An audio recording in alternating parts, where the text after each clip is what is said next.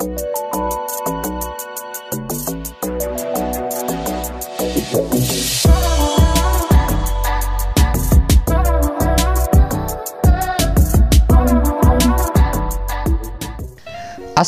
warahmatullahi wabarakatuh. Pada video kali ini saya akan membahas dan berbagi informasi tentang cara upload formulir kerusakan bangunan di web manajemen Dapodik ya. Nah kita mengajukan rehab bangunan pada salah satu bangunan di sekolah saya ya. Ini sudah mengalami 48, sekian persen itu mengalami kerusakan. Ini sudah menunjukkan rusak berat dan mengajukan rehab gedung. Nah di sini pastikan teman-teman sudah mengisi formulir dan sudah ditandatangani oleh Dinas PUPR melalui tim surveinya dan Dinas Pendidikan. Ini contohnya ini sudah saya melakukan pengisian dan sudah uh, saya scan hasilnya seperti ini ya. Ini saya perbesar.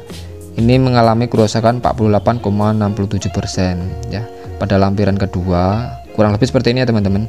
Pada lampiran kedua ini berisikan denah dan tanda tangan dari tim survei uh, dari PUPR ya dinas PUPR nah ini seperti ini contohnya. Yang kita arsir itu merupakan uh, calon yang akan direhab ya. Nah jika sudah memiliki seperti ini kita kembali lagi ke halaman browsingnya. Kita minimize saja. Kemudian kita masuk ke sini ke Google ya. Kita buka halaman baru untuk masuk ke web manajemen dapodik atau ke web sp.datadik.kemdikbud.go.id nah kita ketik seperti ini saja juga bisa kemudian kita klik enter.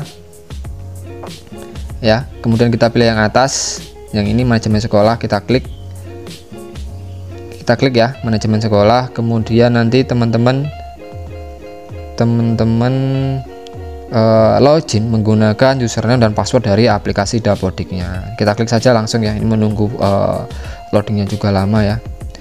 Uh, mungkin karena banyak yang akan melakukan upload formulir rehab bangunan eh, jadi terasa lama ya karena akhir bulan ini merupakan akhir dari proses penguploadan formulir rehab bangunan.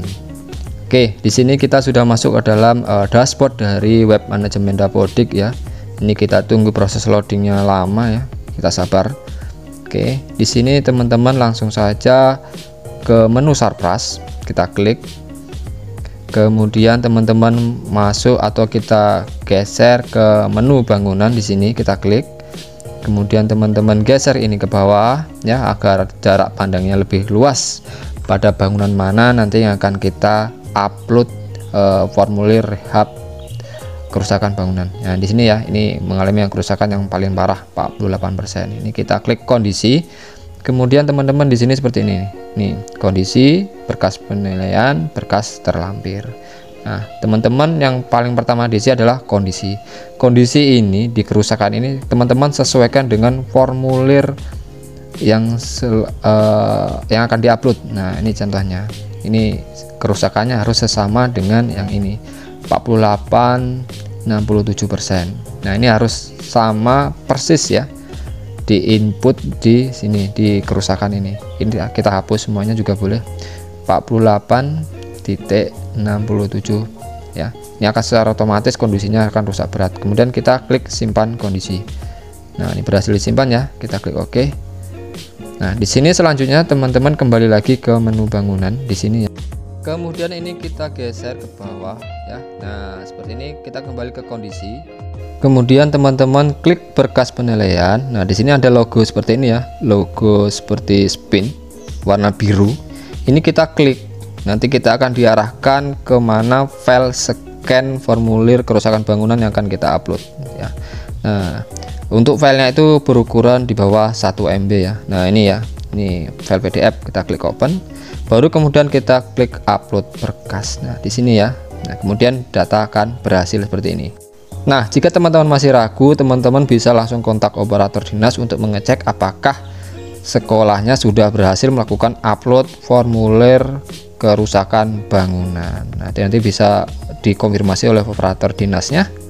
Nah, jika teman-teman salah dalam melakukan upload, silahkan teman-teman lakukan upload ulang seperti proses awal tadi dengan cara ditimpa saja tidak apa-apa, tidak berpengaruh. Yang penting ada konfirmasi atau notifikasi berhasil dokumen disimpan seperti ini klik OK atau teman-teman nanti bisa uh, langsung konfirmasi operator dinas saja untuk memastikan. Nah, kemudian langsung kita kembali ke aplikasi Dapodik untuk uh, berubah atau mengupdate kondisi sesuai dengan formulir ya. Nah, di sini kan ada beberapa uh, bangunan yang tidak secara otomatis itu uh, berubah. Kita ke menu ruang ya.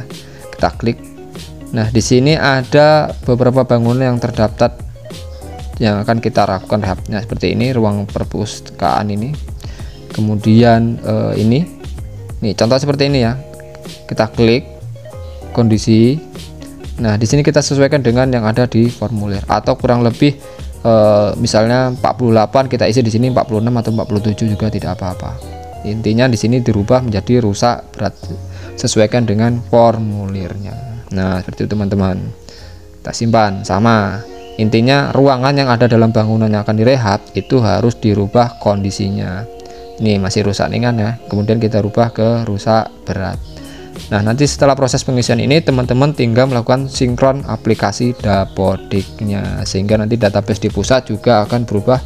Kenapa saya anjurkan untuk teman-teman mengisi kondisi ruangan? Karena e, nanti e, biar formulir yang kita upload itu e, sama atau sesuai dengan yang nyata di aplikasi dapodiknya ya. Nanti takutnya berbeda sehingga proses yang kita lakukan untuk mengupload formulir tadi terlihat percuma.